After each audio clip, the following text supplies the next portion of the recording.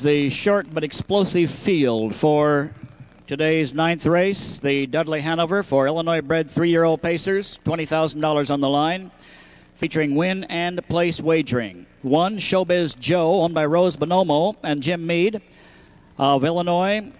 Eric Ledford in the bike. 1A, Nairobi, owned also by Rose Bonomo and by George Bonomo of Chicago with Dale Heitman. 2, Mr. Blue Sky, owned by Brian Pinske, Brent Johnson, Vernon Shire Racing Stable, R&D Sampson Street Stable. Brian Pinske's up. 3, Ill Wind, owned by Don Trilling and Howard Zimmerman of Chicago with Sam Widger. 4, Taser Gun, owned by Tom and Bob Cunningham, Medora, Illinois, Andy Miller in the bike.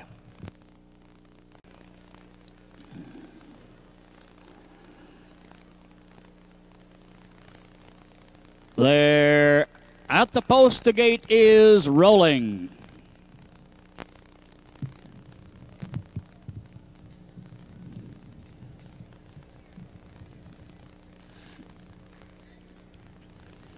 Taser Gun, the darling of the county fair fans who came up that way, who has two sub 50 miles to his credit.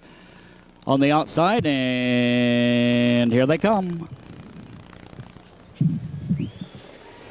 They're off and pacing, and there goes Taser Gun firing for the lead across the racetrack. He scoots with Andy Miller, and he'll take command as that field thunders into the first turn. Taser Gun will lead him to the quarter mile mark on the outside, ranging up as they drive that way toward the quarter mile station, Nairobi. Showbiz Joe duck third, racing for Mr. Blue Sky at the back as they swing around the turn. Ill Wind, they're driving toward the quarter mile mark, and now shuffle to the back as Nairobi. Ill Wind has moved up. He is dropped in second as they drive to the quarter and race past it. They're at that mark in uh, 20 27 and 2. Taser Gun leads down the backside over Ill Wind to the outside underdrive. Here comes Showbiz Joe, and he's waiting no longer. He's out to test Taser Gun right now, and uh, Ill Wind will enjoy the battle ahead of him. He's getting the perfect trip for Sammy Widger, third on the rail, as the front two are battling head and head, approaching the half mile mark. On the outside, Showbiz Joe on the inside, Taser Gun. Waiting third is Ill Wind. Fourth, Mr. Blue Sky. Nairobi at the back as the field rolls past the half. They're at that mark in 55 seconds. They're driving in the upper turn,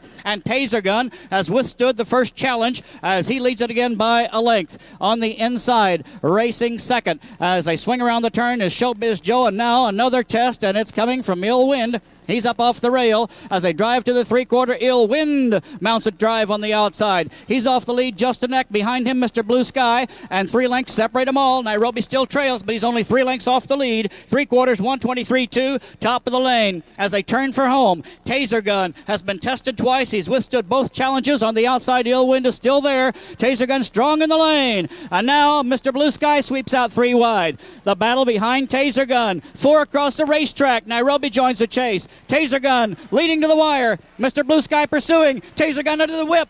Taser gun inside. Taser gun, maybe. Photo. No, it might be Mr. Blue Sky. Very tight.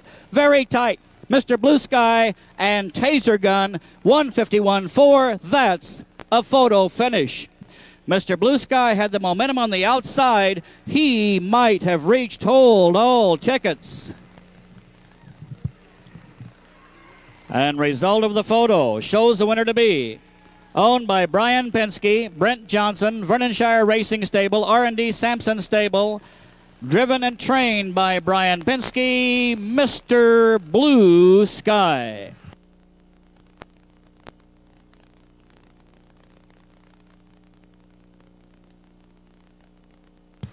Mr. Blue Sky by Cole Muffler from Santa Catalina by Niatross, bred by Cottonwood Farm Incorporated, who have bred so many of the outstanding three year olds, one of them not racing at DuQuoin. Big Tom, bred also by Cottonwood Farm. So another outstanding Cole Muffler into Victory Lane, where he will receive the Dudley Hanover Trophy.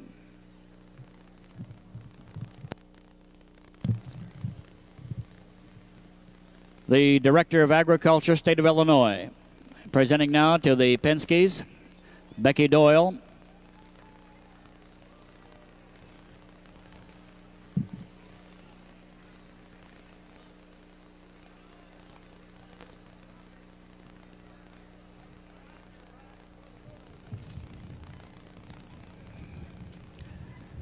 Now all of the well-wishers moving in.